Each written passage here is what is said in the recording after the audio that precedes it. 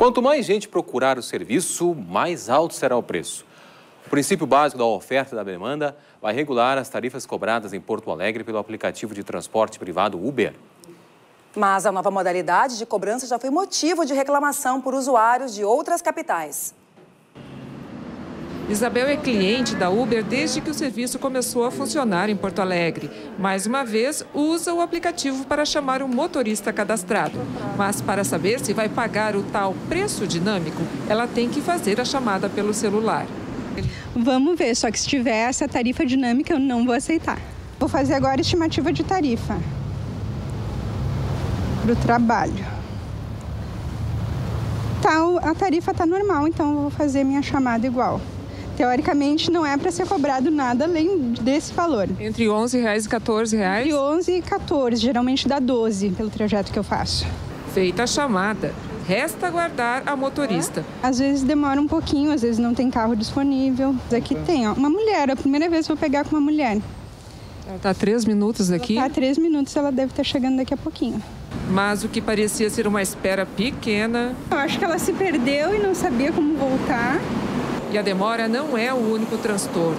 É que a motorista, sem mais nem menos, cancela a chamada. Eu vou ter que aí resolver uh, mandando e-mail reclamando. Lá se vão mais de 20 minutos e a jornalista tenta de novo usar o aplicativo. Esse aqui é um que eu já peguei, ele é taxista, era taxista. Eu já peguei ele três vezes. E logo o motorista aparece, alívio para a passageira que está atrasada para o trabalho.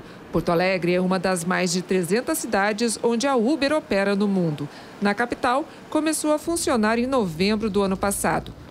Fim da viagem e a passageira paga o preço de costume, não a tal tarifa dinâmica. Não avisaram nada para vocês desse preço dinâmico? Eles falaram que ia ter, mas na verdade eu nem, eu nem sei como é que é, é, qual é, qual é os horários, como é que funciona daí. Segundo a Uber, a tarifa dinâmica é para regular o serviço em momentos de pico, quando a demanda de clientes é bem maior do que a oferta. Assim, os motoristas ficariam estimulados a permanecerem online. Esse motorista da Uber, que não quer se identificar devido à polêmica envolvendo a empresa e os taxistas, diz que a cobrança faz sentido. Esse preço dinâmico ainda, eu, por exemplo, não, não começou ainda.